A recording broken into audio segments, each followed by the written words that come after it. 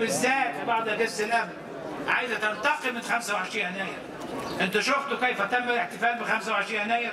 ما كانش في احتفال ب 25 يناير. لأن الذين سقطوا في 25 يناير الذين أسقطهم الشعب في 25 يناير عايزين ينتقموا من 25 يناير.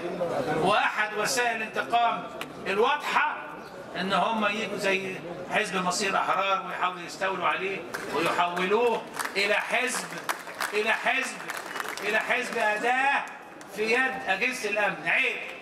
مصر ما تسيرش كده.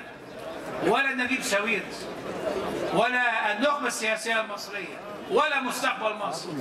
إحنا هنا مرة أخرى وثانية وثالثة ورابعة بكار. من أجل بكار. إقامة نظام حزبي ديمقراطي سليم في مصر. نظام حزبي تعددي.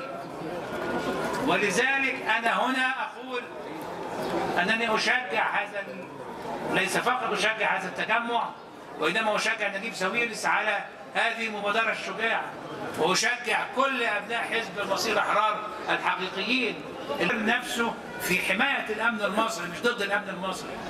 إنما يبقى فيه ممارسات قديمة تعاد الآن للسيطرة على الحياة السياسية ولاصطناع أحزاب لا علاقة لها بالشعب واللعب فيها وصياغتها بهذا الشكل اللي ظهر مؤخرا بشكل يثير الاشمئزاز ويثير كثير من علامات الاست- ال- الاستفهام حول مستقبل الحياة السياسية في مصر.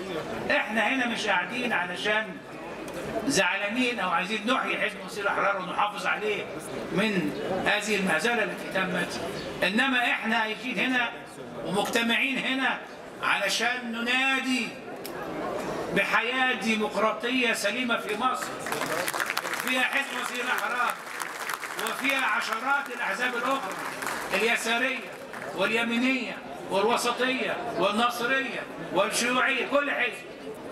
هذه هي أبجديات الحياة السياسية الديمقراطية في مصر.